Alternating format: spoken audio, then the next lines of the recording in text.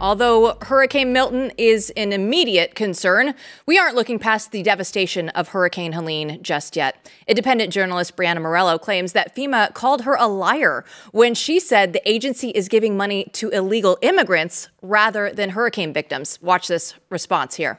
Throughout the week, I've been reporting how FEMA has been taking over a billion of our dollars that's intended for disasters and shifting it towards the illegal invasion going on right now in our country. Now, FEMA's addressing my report on their website right now, calling it a rumor, actually.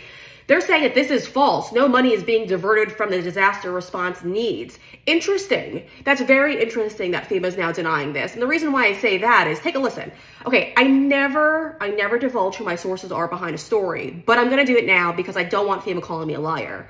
So my source behind all my reporting is actually FEMA itself. If you go to the same website, you search these headlines, guess what? They're on their own website. Okay, I pulled all of this information from their press releases. They've been bragging about giving our money away to the invaders for years now.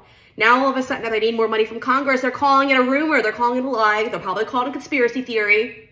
But if you go to their website, and in case they delete it, we've got the archive, so don't you worry. Uh, and they're bragging about taking your money and giving it to people who are invading our country. It's unbelievable. So, here to discuss is Matthew Peterson, editor in chief of Blaze News, and Breanna Morello, host of The Breanna Morello Show. So, it's a little convenient, right, for the federal government to come out right now and say, oh, this isn't true, when you have the documents proving that it is. Yeah, I mean, when the government's your source, it's kind of scary, I have to say, but they are my source behind the story. And they had no problem bragging about giving millions and millions of dollars to illegal aliens. Now, uh, it looks like it's been about a billion dollars in the last, I would just say, year alone that they've shifted over. Now, they're claiming that this money wasn't money meant to be used on disasters itself, but that's literally what FEMA is as a whole. So the fact that they're sending some of our money over to help with the invasion, help keep that going, uh, is concerning. And it, the worst part about all of this is while I was digging and trying to find all of this, I actually reached out to the audit group, Open the Books, and asked them if they had any information on FEMA itself. Uh, they did share, though, that FEMA actually has $8 billion sitting in bank accounts right now. Now, that money, according to Open the Books, is from previous disasters that they haven't actually paid out on, like Hurricane Katrina. I mean, it's been sitting in bank accounts for years now, but they want more money so that they could keep this invasion going. And so they have to beg to Congress, and they've tried to hide all of this. Um, so FEMA's out here calling it a rumor, but if it's a rumor, they started it themselves because it's on their own website. Well, it's on their own website, and the White House is also trying to back away from this as well. Let's take a listen to Karine Jean Pierre when she was contradicting about everything that FEMA and the migrants in that entire situation. It's just categorically false. No, Biden did not take uh, FEMA relief uh, money to use uh, to use on migrants. So FEMA regional administrators have been meeting with city officials on site to coordinate to coordinate available federal uh, support from FEMA and other uh, federal agencies. Funding is also available through FEMA's emergency food and shelter program to eligible local governments and non for, non-for-profit organizations upon request uh, to support humanitarian relief for migrants. When I watch that, I just say they have to think we're stupid, right? They they know that these documents, as you have gone out and found on the FEMA website, that they were there on the website. We know that Karine Jean Pierre has said these statements. They are publicly available if people just go do the research. So, what are we supposed to make of this?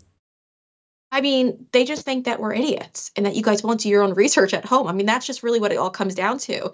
I mean, they had no problem actually, and, and, this is the one positive thing, right? You just saw the press secretary actually admitting that what's happening right now at our border is a disaster because that's what FEMA was set up for was to handle disasters, and that's what they're using it for in that instance. So at least that's the one good positive thing about this. But again, they just think that you're not going to do your own research to look into any of this, and that you're just going to go with whatever they put out there. Now, whenever the White House press secretary calls something disinformation, misinformation, um, I'm automatically interested in whatever they're trying to debunk that's usually the truth this point. And uh, listen, the government should never be the kind of decider of what's real and what's not. It should be the American people, people who are actual journalists, not just propagandists. And um, we'll just let them decide at this point. But all the information's out there. All you do is a little bit of digging and you could find it yourselves. And what's crazy about this to me is all, all they have to do is say something like, look, of course we're spending billions of dollars for legal immigrants. That's what we do. You know we do it. We say we do it. But we also have billions of dollars for the victims of the hurricane. Don't worry, it'll be fine, right? Uh, or something along those lines. Just something that's that's realistic. Let's let's move to uh, another controversy that you are in the middle of uh, with the governor, uh, Governor Cooper in North Carolina. I mean, it looked to me uh, like Governor Cooper is um, is critiquing all critiques of himself uh, but you really stood up to him and said, look, next time, just at me. And have been talking about how he's basically also, you know, accusing you and others of lying. What's this all about? Yes, I reached out to his office for comment before releasing my report. I've been speaking with people on the ground in North Carolina, like you guys have.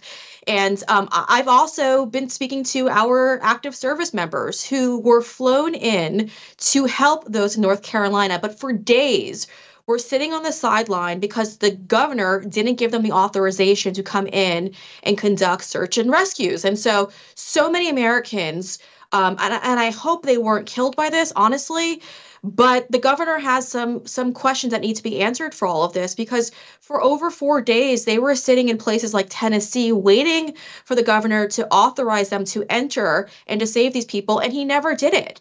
And so I reached out to him and I asked him like, "What's going on here?" And nobody wanted to comment on any of this. They wouldn't want they didn't want to respond to it. And so now he's calling it like the keyword they always do disinformation. And, and, they're using all those terms to kind of debunk it. But I'm still talking to people on the ground, even state lawmakers who are telling me that my, my reporting is accurate and that it's even worse than what any American could possibly imagine what's going on right now in the mountains of North Carolina. So again, uh, they're going to dismiss it all and pretend like you shouldn't believe it. But when other people are saying, no, Breanna, you got it right. This is 100% accurate. This is what's going on. This is what we're seeing. And then they're sending me pictures. Um, I'm going to believe them over a politician who could possibly politicize up all of this. Yeah, it's such a horrific scene right there in North Carolina. But I want to look at Hurricane Milton now because you have evacuated Florida yourself. So tell us about your experience. Yeah, so I did head out. I headed out on Monday. Uh, once I saw what the storm was looking like, I kind of figured this is going to be a massive, massive hurricane. And I told others on X to also flee, but you have to flee early because uh, time and time again, we see, if you've lived in the state of Florida, that uh, there's a massive amount of traffic. Everyone's leaving. I mean, millions of people have left and you're also going to have fuel issues. Um, they need to preserve the fuel that they have currently in the state. And um, I, I, know a lot of people were kind of like going around and like, oh, wait, there's still fuel here, but it's marked that there is no fuel. A lot of that's being saved for first responders. They just don't want to advertise that. But um, I fled, I left the state. It's it's really bad. You know, driving up 75, uh, heading north towards Georgia. I was watching as all these as all these linemen were driving down south um, I, am being told, and thankfully, we have so many great Republican governors all across the state.